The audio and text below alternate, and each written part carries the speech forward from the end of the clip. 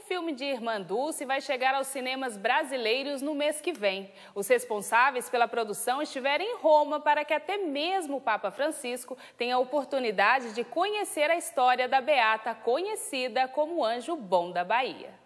Um filme que conta a história da mulher que consumiu sua vida para ajudar os mais necessitados. É muito impressionante o trabalho. Quem já viu fica muito impactado, né? Parece que é a irmã Dulce realmente que está ali nas telas. A sobrinha, que conheceu Irmã Dulce de perto, garante que o filme é fiel aos fatos e que esta mulher ainda hoje tem muito a ensinar.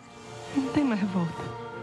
Eu sei. Eu tive a oportunidade de conviver com ela durante 35 anos de minha vida, né? muito perto, e ver e testemunhar um exemplo de vida, uma pessoa que, acima de tudo, tinha muita fé em Deus, uma fé obstinada em Deus, uma pessoa simples, humilde. Como ela dizia, é preciso amar ao próximo, mas amar ao próximo grifado, como a si mesmo, mas a si mesmo grifado no sentido de que não devemos só dar uma esmola, devemos nos colocar no lugar do outro. Irmã Dulce, também conhecida como Anjo Bom da Bahia, foi até mesmo indicada para o Prêmio Nobel da Paz. Em 2011, foi beatificada no Brasil. O objetivo da viagem a Roma é fazer com que o filme chegue até mesmo ao conhecimento do Papa Francisco. A gente vem a Roma para poder apresentar ao Santo Padre, através de Dom Damasceno, essa bela produção brasileira.